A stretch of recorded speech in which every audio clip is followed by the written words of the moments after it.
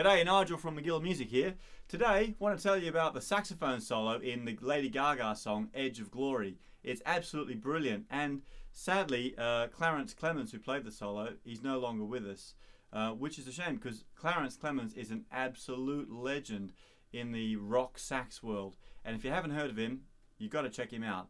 Actually, chances are you have heard of him because he's played on so many recordings and his sound is absolutely mega. So you've got to check him out. So anyway, uh, let's talk about the solo for uh, Edge of Glory. Uh, it's a little bit tricky. First thing I'd suggest you do is go along to mcgillmusic.com and download the PDF for this lesson.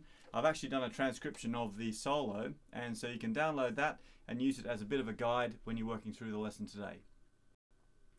So, Edge of Glory by Lady Gaga. Now, when Clarence Clemons played over this solo, um, he kind of basically used a B pentatonic scale.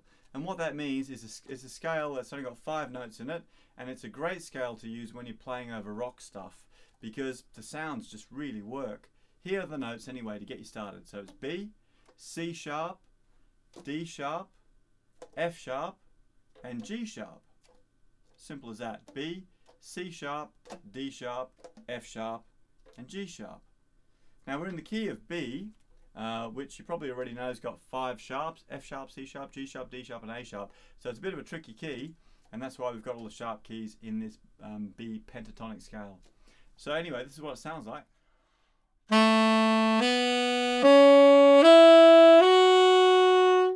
Now of course the scale extends either way, all the way up as high as you want to go and down as low as you want to go, um, but those are the basic building blocks.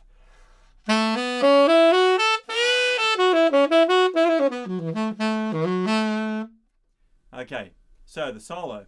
Now on the Lady Gaga track it starts at about three minutes in and the first little bit's kind of like a warm up to the solo, just getting you ready.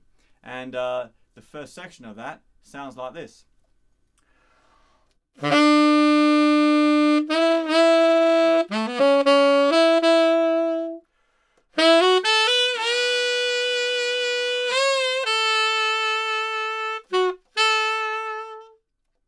The notes, it's pretty simple really. Two sections. The first bit starts on E, up to an F sharp with a bit of a scoop, wah wah, and then it goes B, C sharp, D, D, F sharp, F sharp. So one more time, E, F sharp, F sharp, and then B, C sharp, D sharp, D sharp, F sharp, F sharp. Okay? And again, that phrase sounds like this.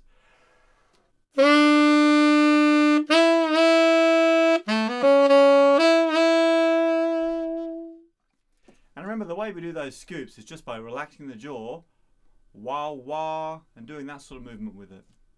Okay, so the second bit goes like this F sharp, G sharp, B, C sharp, with a scoop up to the C sharp again, and then up to D sharp, and then down to the B, and then G sharp B. Okay, so it sounds like this.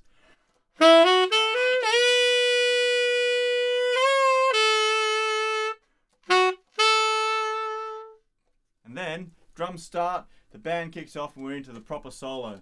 So the first section of the solo sounds like this. Okay, and those notes F sharp, G sharp, B, B again, and then down to G sharp with a bit of a fall off at the end of it.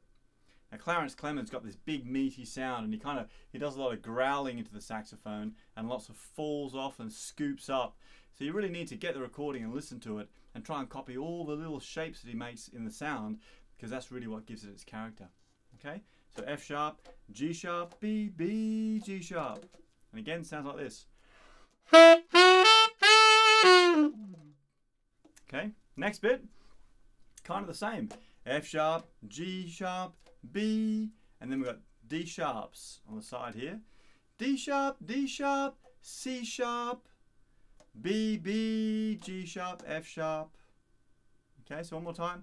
F sharp, G sharp, B, and then D sharp, D sharp, C sharp, B, B, G sharp, F sharp. Let's try that.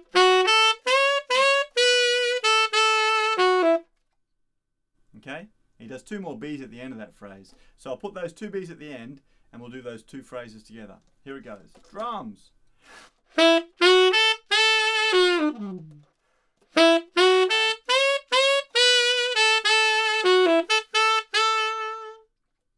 Okay? Now comes the tricky bit. Okay, he starts to get up pretty high here. There's three notes in a row here. The first one is E. I use a front E because I find that's a bit easier. You probably know that one anyway. Okay, so like that. Um, so it's using your front F key. It's like a G, but with your first finger, your index finger, you go up onto this front F key. And that's high E, and then high F, and then high F sharp. Okay, pretty high, and he holds that one for a couple of bars. So it goes like this.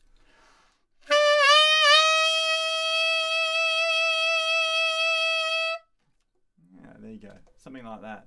Okay? And then the next bit, it does lots of repeated D sharps. Ba ba ba ba ba ba up to F sharp. Okay?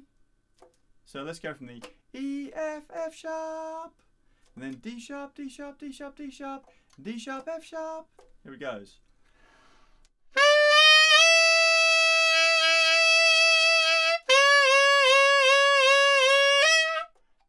And so the next bit, D sharp, B, G sharp, F sharp, B, B, B, G sharp.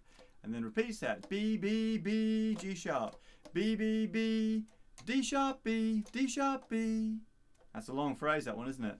So I'll do it again, right? So we've done uh, D sharp, ba, ba, ba, ba, ba, ba, up to F sharp.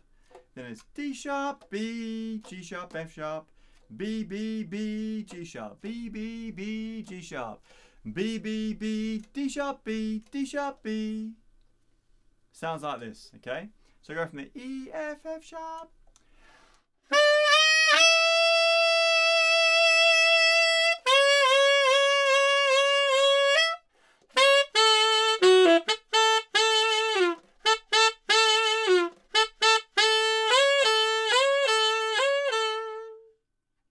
And that's kind of the whole solo. So um, I'll play it for all the way through in a minute. But first of all, just go back to that growling thing I mentioned about. So if you're not familiar with growling, uh, basically it's really simple. There's, there's a couple of different ways you can do it. Uh, the first way is to actually use your voice. So when you're playing a note, you also kind of sing through the saxophone as well, and that gives it that, that growly kind of sound. So, for example, if I'm playing a high B, and I, and I sing through it as well, like this. Ooh. Gives it that kind of growly sound. Ooh. As well as playing. The other way you can do it is to actually roll your tongue. So that's kind of like going like that when you play. Okay, and it sounds like this. And lots of those 80, 80s um, saxophone players did that. Like the uh, the solo off um, one Step Beyond, things like that. It's that kind of 80s sound. So Clarence Clemons, anyway, he uses his voice and sings through the saxophone when he plays, and that's how you get that growly thing. Okay, so I'll quickly play through the whole thing for you. If you've got your uh, transcription, grab that out and try playing along. Here we go. This is from where the drums start and the band kicks off. And the main solo. Here we go.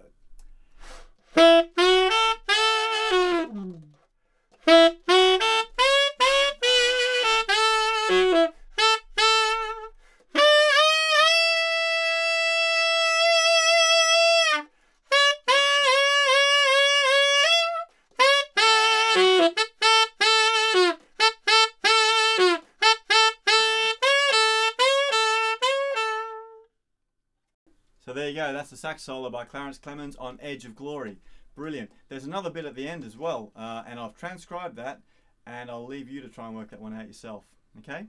Good luck with that, and do check out the other lessons at mcgillmusic.com. There's loads of other stuff on there, and good luck with your saxophone journey.